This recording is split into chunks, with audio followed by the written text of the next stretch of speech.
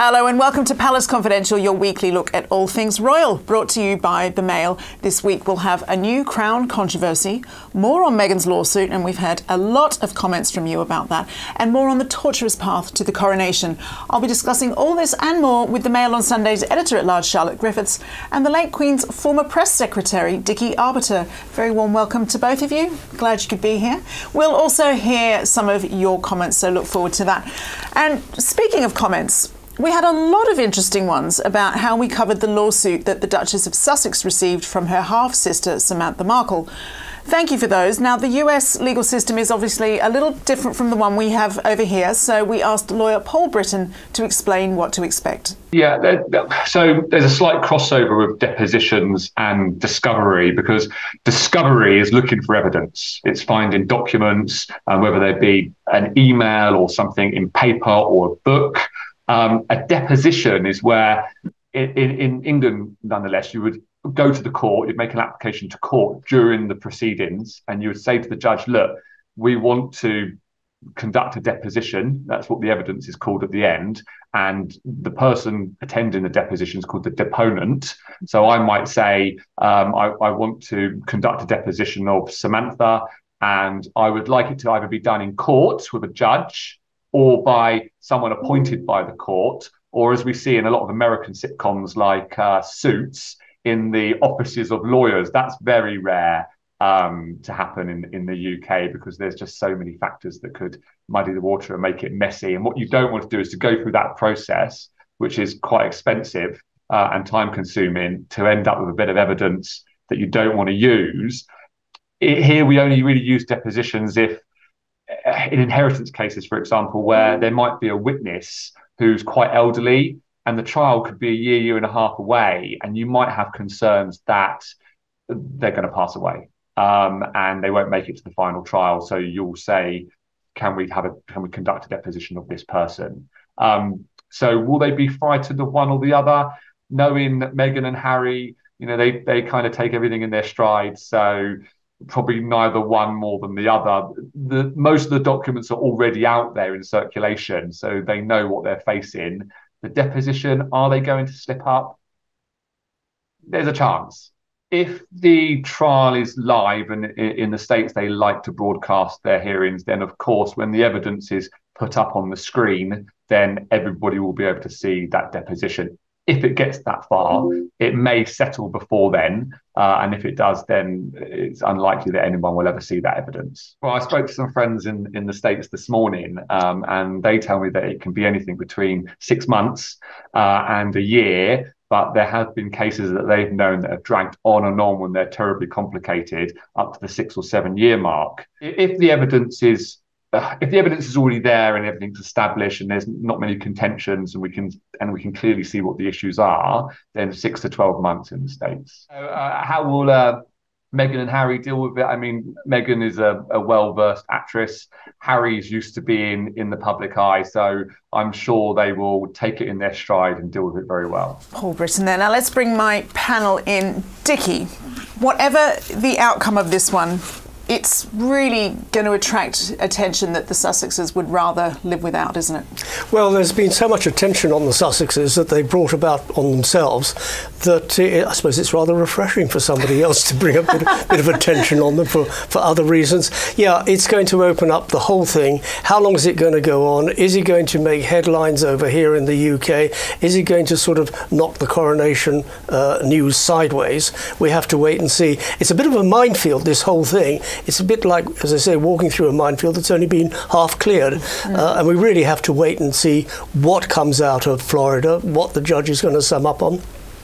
It's a very difficult issue, um, and I think it's one that we need to steer clear until we know exactly what is going to come out of it. Whether Samantha Markle is going to get her seventy-five thousand dollars, not a lot of money, is it? Uh, given that the I wouldn't Sussexes, knock it back. Yeah, yeah, you wouldn't knock it back, but mm. uh, given the, the, Sussexes have made so much money anyway, uh, it seems rather paltry by comparison. Whether she's going to win or not, that's for the judge to decide.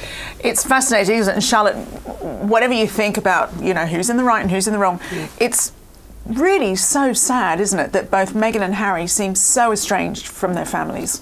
Yeah, I mean, the thing is about Samantha that Meghan says is that I've never really, I've always been estranged from her. She says I've never really known Samantha very well. And Samantha's saying, well, that's not quite true. And pictures have emerged since from Thomas Markle's collection showing that they did know each other a little bit.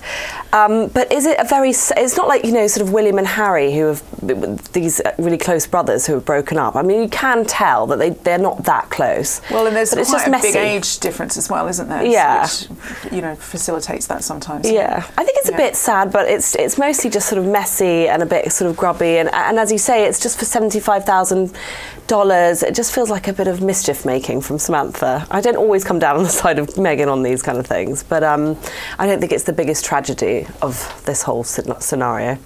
Well, Dickie, let's move on to the coronation now. And we've had some conflicting reports. Some say the palace are expecting the Sussexes. Sussex, it's really hard to say the Sussexes. Some, some people are saying the palace are expecting them to attend, while others, another suggests that they still haven't made up their mind. Where, where are we with it all?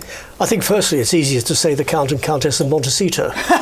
I'll try that next time. Um, yeah. But where are we? Well, we don't know. Um, are they going to come? It's the uh, $100,000 question, um, and we have to wait and see. Uh, if they do come, I don't think it's they. I think it'll be him rather than her. It's it's a big question mark at the moment. Uh, personally, I think it, they're better off not coming. They don't want to deflect uh, from what is the big occasion, the coronation. They did keep a very low profile last year at uh, his grandmother's funeral in uh, September. So, personally, I would prefer that they didn't come. In fairness to them, though, Dickie, whether or not they do or do not attend, it that's it, it, it will generate press comment.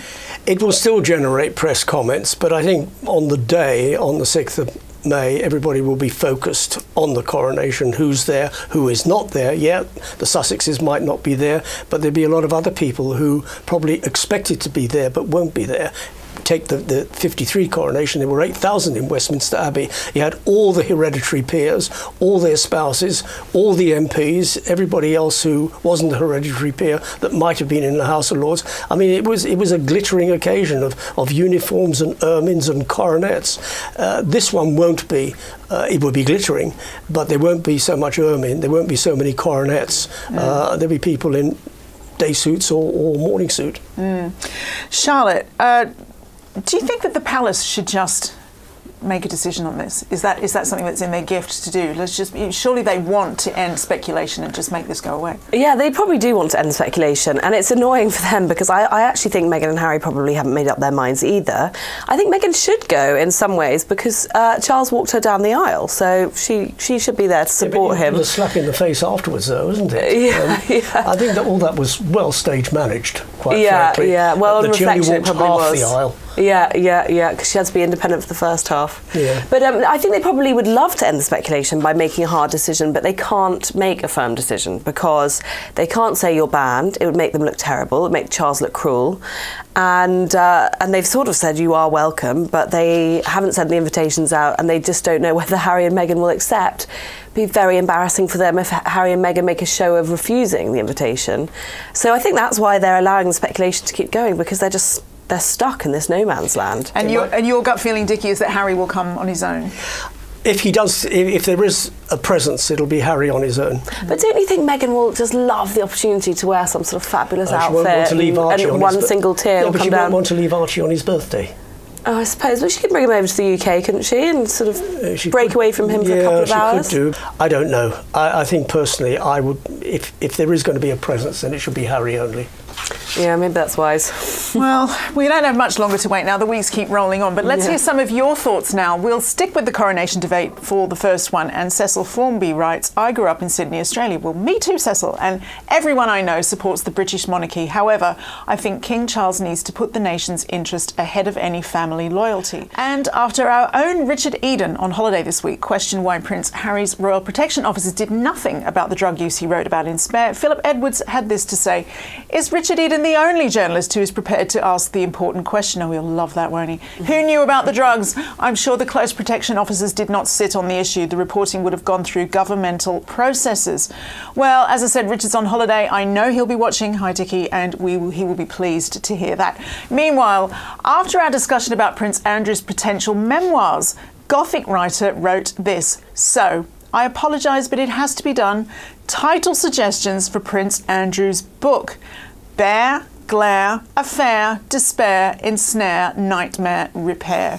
What a poet you are. Well, we love slash a little bit terrified by all of those, that we welcome any other viewers to share their titles for Andrew's possible autobiography. Please keep those coming and questions coming in with comments. Leave them below. Email us on palace at mailplus.co.uk or let us know on social media where we are at mailplus. Let's get back to my panel now. And Charlotte, an update now on Prince Andrew's role in the coronation. uh, your paper at the weekend dampening any hopes that he might have of playing a part there. Well, there is there is no role. He's not a working royal, so if they've banned him from doing his ceremonial duties for the army and things, a little seat up the back, just to, with a little bit of popcorn to watch the whole thing. well, he's. I'm sure he can attend, can't he, Dickie? But I Can don't- attend. But oh, God, it would be so embarrassing if he turned up wearing, you know, the feather and the whole kit. I think he needs to turn up in a suit. Maybe they could find that candle that they found for Meghan during the coronation, just place it in front of his face. He's, but a, no, he's a no bit role bigger than. Meghan, might need two candles. Yeah, yeah, two candles in yeah. the bus. Yeah. No, there's no role for him. Uh, Of course, they can't ha- find a role for him at the, at the coronation. It would be ridiculous. He's not a working royal. Something we've discussed on this show, Dickie, is you know Andrew's impatience to get back to his old role. Now, as a communication specialist, do you think that would be wise? No, it's not wise at all, and it's not even wise even thinking about it or even canvassing friends to say that's what you want to do or that's what he wants to do is to get back to his old role in some form or another, to get some of his military appointments back. It's not going to happen. He he has been judged by the public.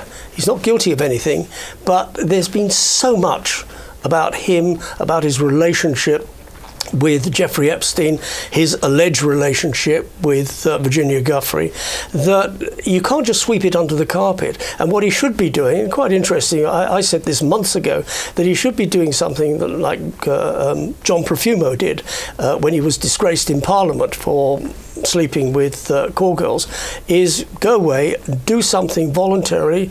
Um, John Profumo, Toynbee Hall, and he just worked quietly. He didn't seek any fanfare. He didn't seek any plaudits. He just got on with it. And Andrew can do could do that.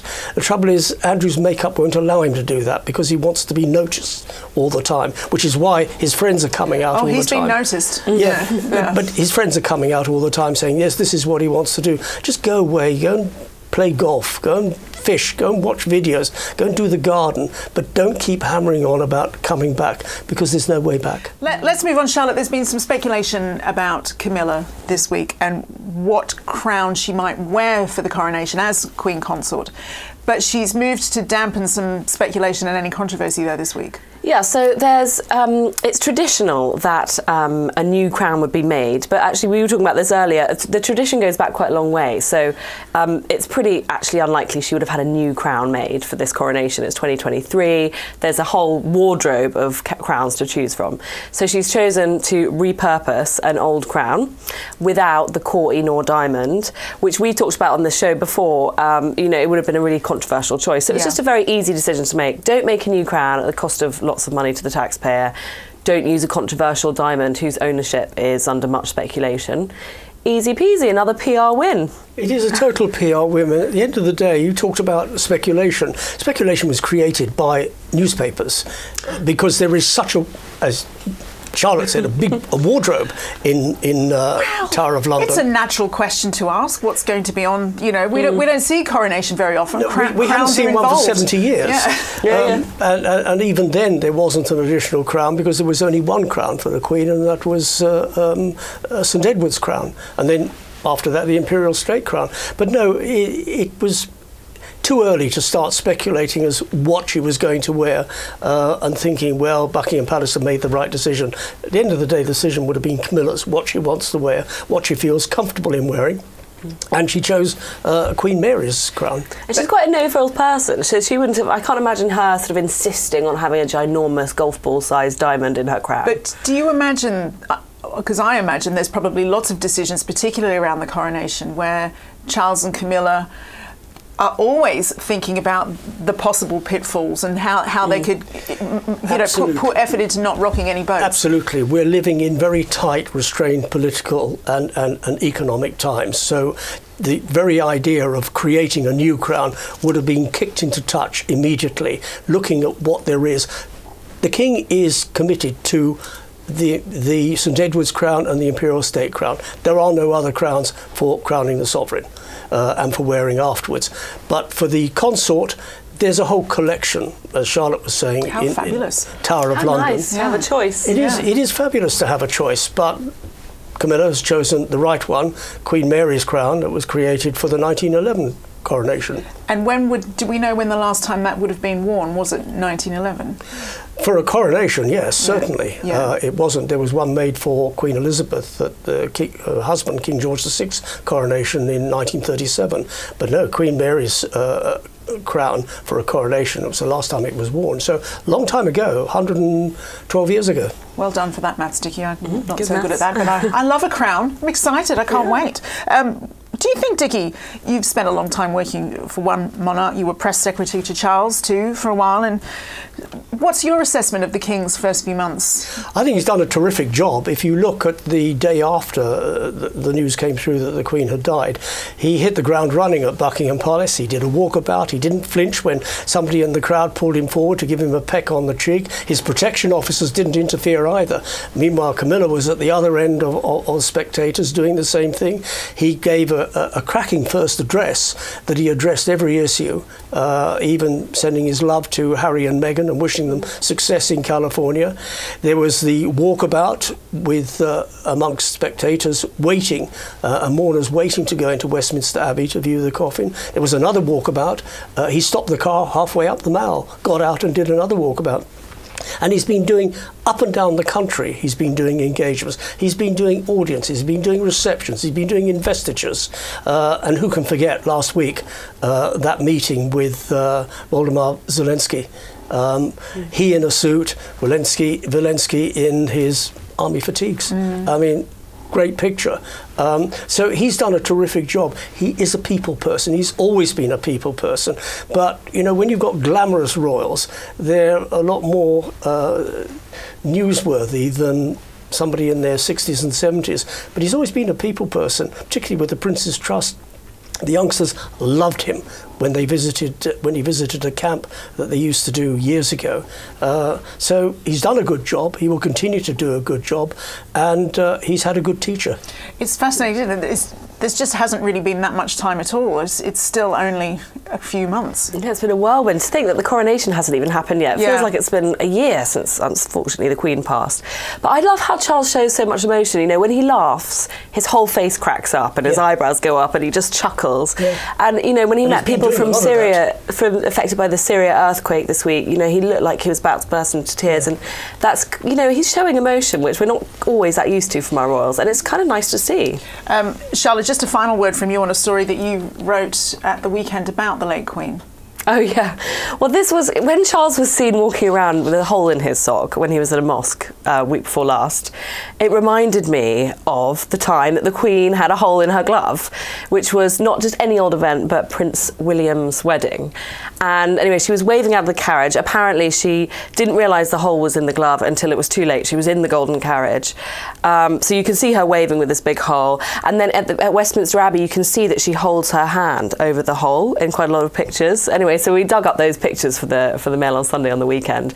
And a friend of mine who's who was a dresser at the time said it actually was quite a controversy because she has an army of dressers and nobody noticed she had a great gaping hole, and it was a pretty major worldwide event, Prince William's wedding. It was actually the, the, the, lining that Yeah, the the seam, linings. the seam yeah. had come come on stage. But you would have thought, so, well, you were there at the time, you would have thought Yeah. somebody would have just checked or noticed or put a spare pair of gloves in her bag. Well, thank you so much, Charlotte Dickie, and to you for watching, of course. But that is all we have time for this week on Palace Confidential. We will see you next week. Bye bye.